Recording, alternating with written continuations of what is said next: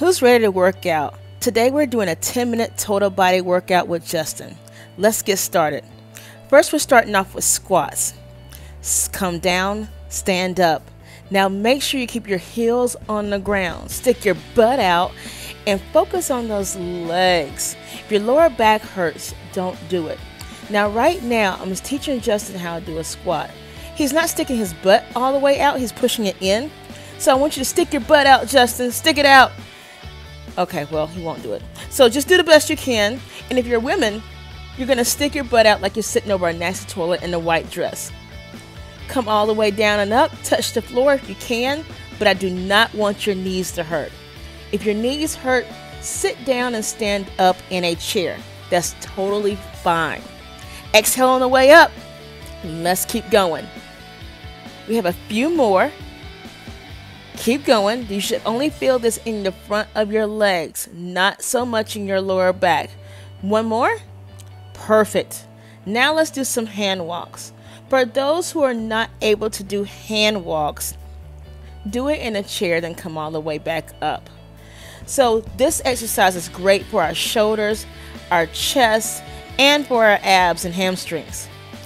What you're to do is sit, what are you to do is come all the way down, walk on your hands into a plank position, and come all the way back up.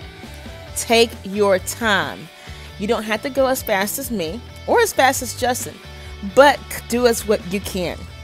Do the best that you can. Your lower back may hurt a little bit, but what I want you to focus on is doing your best to keep your hamstrings straight during the movement. Keep going.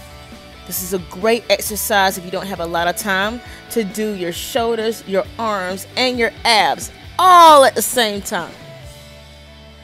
Breathe.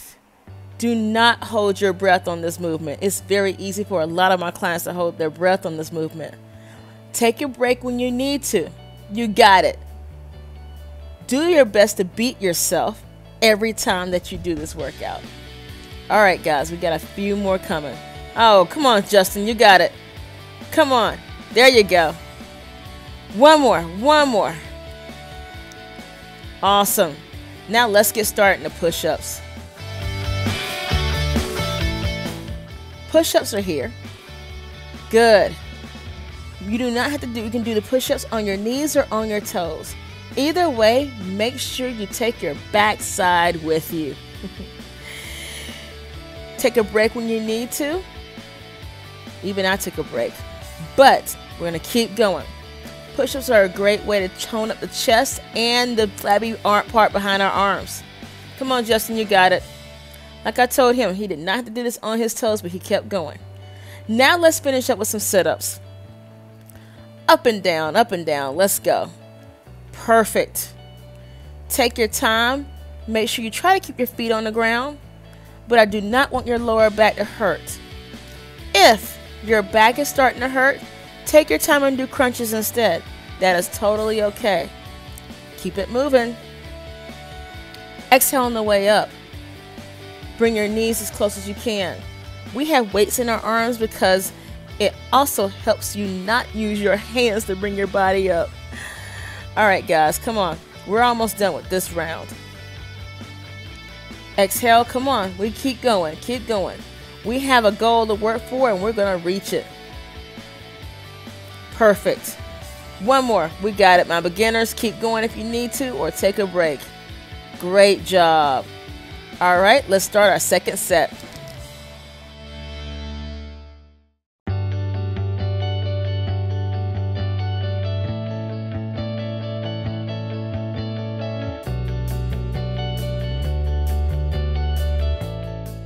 Take a break. Let's stretch it out. If your stomach's getting tight after those sit-ups, we're to do the cobra position to make sure that you're stretching your stomach out. Also child's pose to stretch out your lower back. Deep breaths, in, inhale and exhale out. Perfect. Make sure you do your breathing. Focus on your breathing on these. It is okay to take care of ourselves before we work out. Now let's turn up for the second set. Now, if you want to take it up with me, I am doing hand walks with the jump squats. If you're unable to, that's totally fine. do the squats with Justin. It is okay. Take it up to where you can. But I do want you to do your best to work yourself up to what I'm doing. Keep it going, guys, up and down. Listen to your body. It is supposed to burn in your muscles, not in your knees or your hips or in your ankles. So if a joint is hurting, please let me know. All right, back to push-ups. Down and up, let's go. We're gonna burn our arms on these. Up and down, exhale on the way up. You got it. Push. Make sure you know what we're working for, which is tight arms. All right, last set of sit-ups. Tight abs are the foundation of any perfect body. We gotta get these going. Make sure if you need to take a break, take a break, but exhale at the top. Try to push past what you thought you couldn't do. We've got to push past these points. Let's go. We got it. Almost. Great job, guys. See you next time.